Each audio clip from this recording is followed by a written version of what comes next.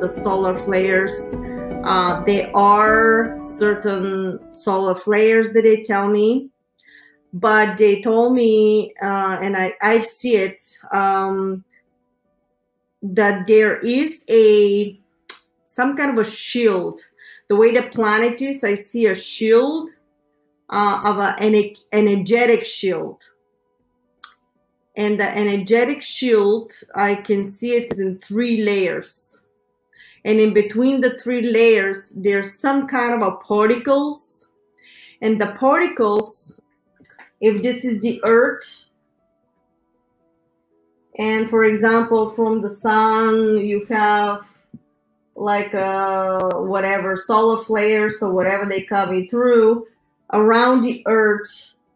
I see some kind of a shield, but I see the shield almost like this, like that comes like that. And between each shield, if I'm gonna do the earth in a little bit different way, so you can see if this is the earth and it's coming rays from the sun, that shield, for example, that shield is in three layers that is protecting this to come in. But inside that between each layer there's a tiny particles very very tiny particles. That's what they show me.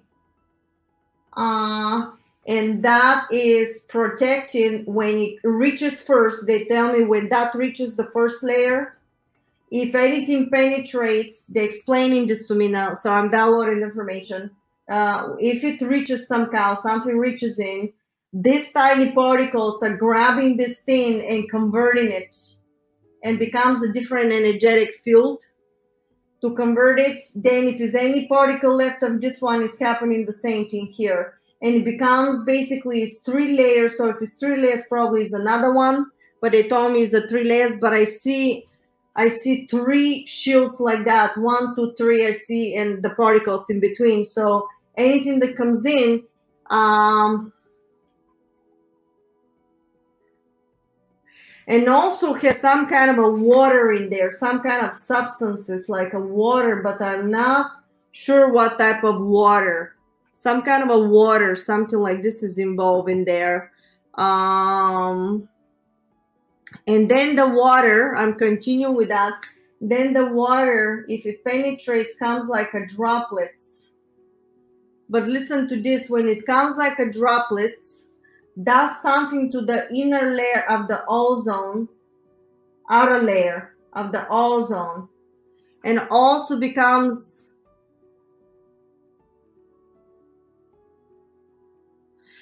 also when it becomes in the inner layer of the oh that's brilliant. Listen to this. When it comes into the particles and actually converts that into the particles anything that leaks in becomes like a little water droplets but it's some kind of a substance. And these water droplets when they reach the all the outer ozone layer they're actually cleaning the ozone guys. It's almost like a couple of each each layer causes uh, almost like it's designed when it interacts with this one with the rays of the sun the solar flares converts to something else.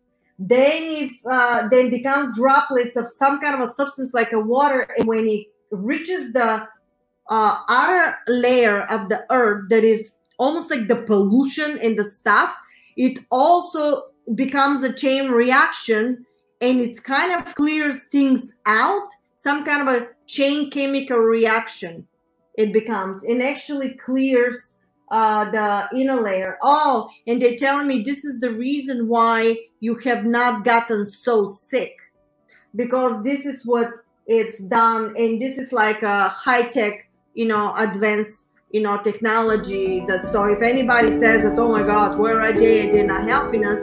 Uh, this is a lot of stuff that they're dealing